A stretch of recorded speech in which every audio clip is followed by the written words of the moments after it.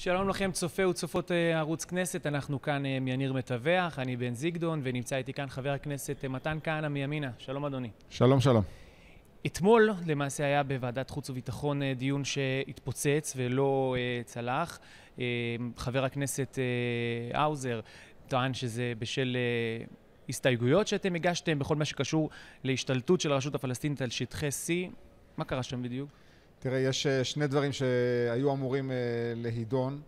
אה, אנחנו ביקשנו באמת דיון מיוחד על ההשתלטות של פלסטינים על שטחי C. ולשמחתי נעתרו לקיים את הדיון הזה. אבל במקביל אנחנו ביקשנו שוועדת החוץ והביטחון תדון בזה ששר הביטחון ביטל את התקנה היחידה שבאמת מנעה העברת כספי מדינת ישראל למפגעים ולמחבלים התקנה שנפתלי בנט כשר הביטחון תיקן, שפגעה בבנקים שהעבירו להם כספים, וגנץ ביטל את התקנה הזו, ובעצם עכשיו שוב מחבלים מקבלים רוח גבית לבצע פיגועים. אנחנו ביקשנו... אבל זה לא, לא לשפוך את התינוק עם המים? אנחנו ביקשנו, כל מה שרצינו זה שוועדת החוץ והביטחון תדון בנושא הזה. משראינו ששוב פעם הקואליציה לא מוכנה להיעתר לבקשות שלנו, היה לנו, אין, לא היה לנו אלא לנקוט בדרך שיש לאופוזיציה, וזה להגיש הסתייגויות על הצעת חוק. ולא פספסנו בזה את הדבר השני שניסיתם לקדם? בוודאי שפספסנו, אבל לצערי אה, הקואליציה שוב אה, פספסה הזדמנות לדון בנושא חשוב מאוד לימין, מה שמראה לנו שבעצם יש פה ממשלת שמאל. הרי בסוף באמת אה, הקואליציה טיפסה פה על עץ גבוה כדי לא לאפשר לנו לקיים דיון על העברת כספים לטרוריסטים. אתה אומר ממשלת שמאל, אה, וראיתי גם בראיונות שלך בימים האחרונים, אתם אומרים אה, ממשלת שמאל על מלא. ממשלת נתניהו-גנץ היא ממשלת שמאל לכל דבר ועניין? לצערי, מה שיש פה זה ממשלת שמאל. זה ממשלת שמאל אה, מדיני, כי באמת הולכת לקום פה מדינת טרור פלסטינית, ולא מוכנים לדון איתנו על אה, החזרת התקנות של שר הביטחון לשעבר בנט, שמנעו העברת כספים לטרוריסטים. זה ממשלת שמאל משפטי, כי שוב פעם, שר המשפטים הבטיח מטריית הגנה לכל רפורמה שמערכת המשפט אה, נדרשת. זה שמאל כלכלי. כי אנחנו רואים שיש שם שרים בכירים שהיו ראשי הסתדרות לשעבר, ואפילו בקורונה הם לא מטפלים. לצד, לצד השרים שאתה מתאר, פרץ ושמולי וכולי, יש גם את, את, את השר כץ, שהוא דווקא די אפשר לומר נלחם בשיניים נגד גם רפורמות שמנסים למנוע, למשל בחברות הביטוח, חברות האשראי שיעניקו ביטוחים וכדומה, הוא מנסה כן ליצור אנחנו, תחרות. אז בואו נראה לאן זה ילך. אני באמת לצערי רואה אה, בליכוד, אה, שמתיימרת להיות מפלגה של כלכלה חופשית וליברלית, אה, הרבה מדי קולות שקוראים אה, אה, לשוק מרוכז וסוציאליסטי אה, ומניעת תחרות. אני שמח שבינתיים השר כץ מצליח לעמוד בפרץ, אנחנו נעודד אותו להמשיך לעשות את זה, כאלה שבאמת מייצגים ימין כלכלי ליברלי. אה, ואני אה, באמת מקווה שהשר כץ ימשיך אה, לעמוד על הדברים האלה. טוב, חבר הכנסת כהנא, הזכרת את תוכנית הסיפוח ו... החלת הריבונות. החלת הריבונות, ואנחנו מדברים על זה הרבה בתקופה האחרונה. מפות עדיין לא ראינו, אף אחד לא ראה למעט המפות שראשי מועצת יש"ע, המפות הישנות שבעצם פורסמו בתחילת, בתחילת אוקטובר, מתי שפורסמה התוכנית.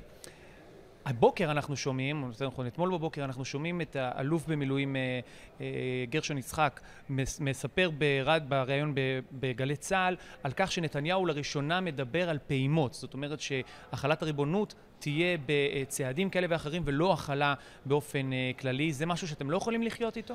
אנחנו יכולים לחיות עם כל החלת ריבונות שלא מביאה יחד איתה הקמת מדינה פלסטינית.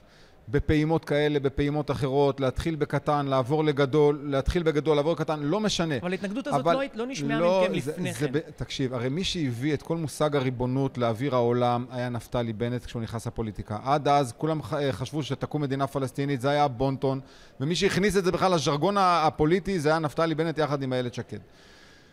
עכשיו, אה, סוף סוף כולם מדברים בשפה הזו של ריבונות, אבל אם זה בא יחד עם, אה, עם האסון של הקמת מדינה פלסטינית, אז הנזק גדול מהתועלת. עכשיו, ברור שאנחנו בעד החלת ריבונות, ואנחנו נתמוך בבנימין נתניהו אם הוא יכיל ריבונות, כל עוד זה לא יביא איתו הקמת מדינה פלסטינית. מה זה, מה זה אומר דה פקטו הקמת מדינה פלסטינית? זאת אומרת, ש... ברגע שנתניהו לצורך העניין אומר, אוקיי, אני מקבל אה, חלק מתוכנית המאה, תוכנית השלום, אני שם כאן, אה, אה, אנחנו מכילים את, ה, את הריבונות על ברכת הירדן בלבד.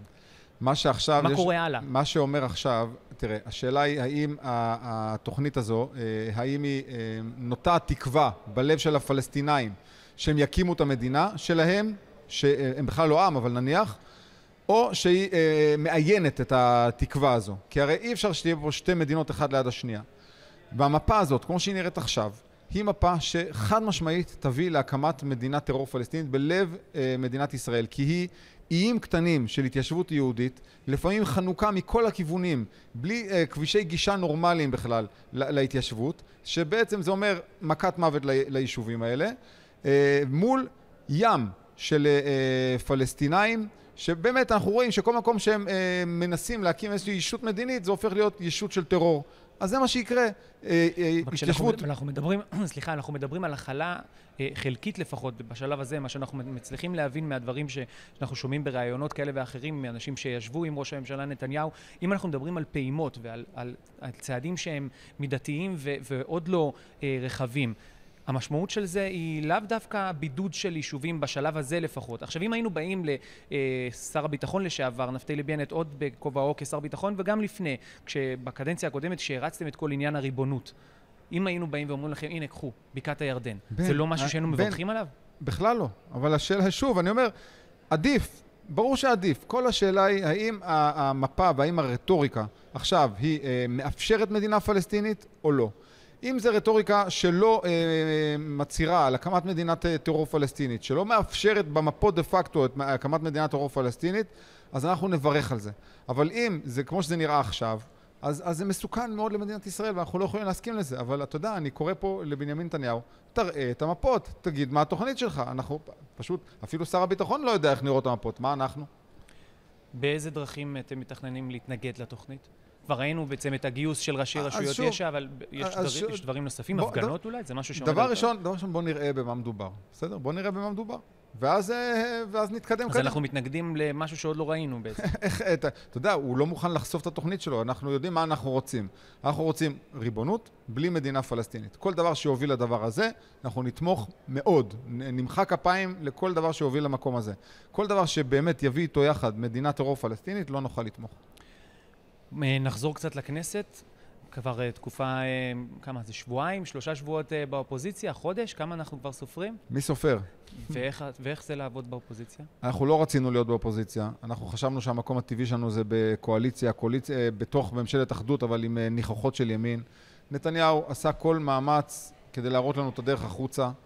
ואנחנו לצערנו נמצאים עכשיו בחוץ. בתוך ה... מהמקום הזה שאנחנו בחוץ, אין לנו אלא אה, להילחם כאופוזיציה. עכשיו, אתה יודע, אמרנו, יש צידוק לממשלת אחדות עכשיו, ואנחנו לא נפיל אותה כי יש קורונה וצריכים לדאוג לה. אבל גם זה לא קורה. הרי אנחנו רואים שהיחיד שבאמת בא ושם תוכנית נורמלית, שמדברת באמת עם, ה, עם הסכנות שיש לגל השני שיבוא וה, והשיתוק הכלכלי שיגיע יחד איתו, זה נפתלי בנט. אבל אף אחד בממשלה לא מרים את התוכנית הזו. ועושה פה משהו כדי אה, לעצור את הצונאמי הכלכלי הזה שמגיע אלינו. אז אני אומר, גם אם, אם בסוף הממשלה הזו, אפילו בקורונה היא לא אה, נלחמת כמו שצריך, אז אין לה זכות קיום. בימים האחרונים אנחנו שומעים אה, גם, בעיקר, בעיקר מהצד הליכודי, אבל מעוד מקומות, גם מפרשנים באולפנים, אה, דיבורים על בחירות. זה משהו מאוד מאוד מפחיד ומאוד מאוד אה, מלחיץ, בעיקר אותנו, אנשי החדשות, כאן גם בערוץ כנסת. ואתמול אנחנו, במהלך השבוע אנחנו רואים את הציוץ של אה, איילת שקד, אה, חברתך למפלגה, שאומרת שאתם בעד הורדת אחוז החסימה. יש קשר בין הדברים? אין קשר בין הדברים. אני אומר לך, אני סך הכל פוליטיקאי בתחילת דרכי, אני מודה שחוש הריח שלי עדיין לא מספיק אה, דק כדי להגיד שומע, אם יש בחירות או לא. אני מודה שהרחש בחש פה במסדרונות המשכן זה שהממשלה הזו לא תוציא את ימיה. אני אומר לך, אני, גם כשאני מסתובב בוועדות, אני רואה את הפערים האדירים שיש בין השותפים לקואליציה המוזרה הזו. אה, אין, אין כמעט שום דבר שמסכימים עליו, חוקים עולים, חוקים יורדים, אה, בלי שאנחנו בכלל אה, מתערבים. ולכן, האם יש... זאת אומרת, עושים לכם עבודה קלה באופוזיציה. אני, ככה זה נראה. אחוז החסימה זה משהו שלא קשור, אנחנו כליברלים מאמינים שאחוז החסימה צריך להיות נמוך. בגדול, מי שיכול להיכנס עם מנדט לכנסת, שייכנס. מי שיש לו 35-36 אלף אה, תומכים לעמדתו, שיבוא ויביע אותה בכנסת. אמרנו, טוב, לא נהיה כל כך קיצוניים. בעינינו, מי שיכול להביא שני מנדטים, נכון שייכנס לכנסת. זה דברים שאמרנו תמיד. החברי כנסת של אה, ימינה אה, מעולם לא הצביעו גם בעד העלאת אחוז החסימה. אה, זאת אה, תפיסה עקרונית והיא לא קשורה לבחירות כן או לא. ובהנחה שחס ושלום, איפה יש עץ לדפוק, שלא נגיע לבחירות, אבל בהנחה שזה קורה, איך המפלגה שלכם אה, שורדת את, ה- את ההליך הזה? אנחנו אה, בוודאי, זה אנחנו... כבר היה כמעט כן, כמעט תראה, לא, כמעט... בן, אה, בואו לא נשכח שאנחנו היום אה, הימין היחידי שיש, כולם מבינים שאנחנו הימין אה, האמיתי.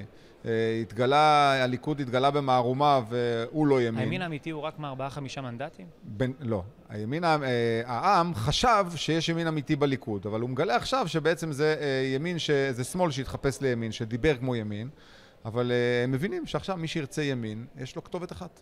ואם נתניהו יפנה אליכם, אתם תתמכו בו? אנחנו אמרנו, הבלוק הימין אה, פורק דה פקטו על ידי אה, נתניהו.